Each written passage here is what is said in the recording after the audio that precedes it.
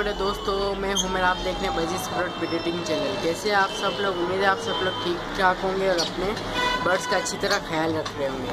تو آج کی ویڈیو کا ٹاپک یہ ہے کہ جو ڈف میں آپ نے کیا چیز لگانی ہے مطلب ان کے انڈوں کے لیے کیا چیز لگانی ہے، کس میں ان کی بریڈنگ کروانی ہے، ٹھیک ہے؟ تو بریڈنگ کے لیے ان کا کیا مٹکی ہوتی ہے ان کے لیے یا ان کا باکس ہوتا ہے، ایسی کیا چیز ہوتی ہے جس میں آپ، جس سے ان کی بریڈ لے سکیں، ٹھیک ہے؟ تو آج کی ویڈیو شروع سے لے کر اینڈ تک دیکھیں تاکہ آپ کو ڈف کے بارے میں پوری معلومات ملتی رہے۔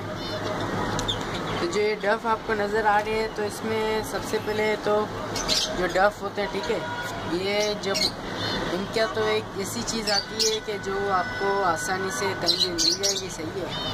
تو ان کا نہ کوئی مٹھی ہوتی ہے، نہ کوئی باکس ہوتا ہے ان کا ایسی کیا چیز ہوتی ہے؟ وہ چیز بھی میں آپ کو بتا دوں گا آپ کو کس طریقے سے لگانی ہے، صحیح ہے؟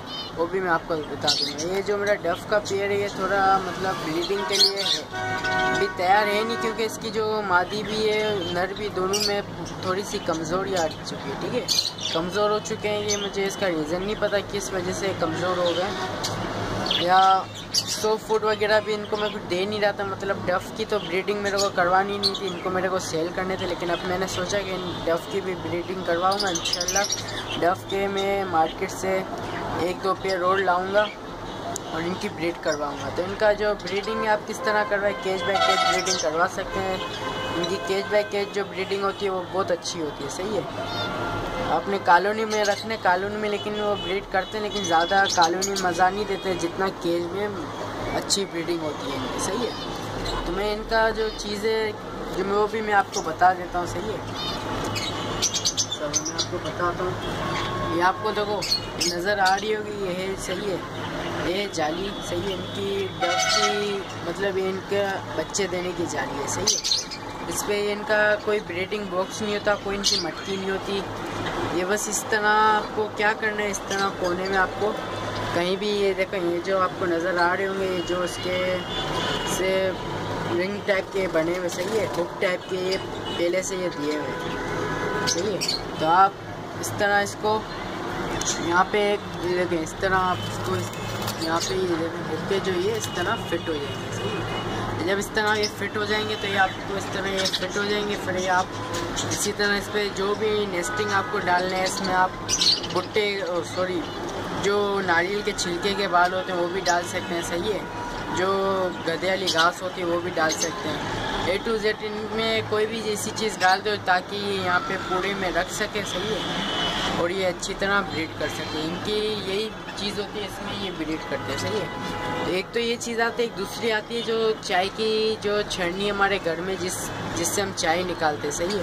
جو چائے کی چھڑنی ہوتی ہے، اس میں اس میں بھی وہ بریڈ کرتے ہیں، لیکن وہ جو چائے کی چڑنی آتی ہے، وہ دوسری ہوتی ہے مطلب دوسری طرح کی ہوتی ہے۔ اس میں بھی ایسا ہک ہے، لیکن وہ ایک ہک بنا ہوا ہوتا ہے، لمبی سی مطلب لوہے کی اسٹک جا رہی ہوتی ہے، لوہے کا جو ہوتا ہے، وہ پورا بنا ہوا ہوتا ہے، صحیح ہے؟ تو وہ کونے پہ لٹک جاتا ہے، صحیح ہے؟ اس کو بھی لٹکا سکتے ہیں یہ لیکن یہ بھی اور وہ بھی دونوں ایک ہی چیز ہے، دونوں میں تھوڑا ڈفرینس ہوگا، صحیح ہے؟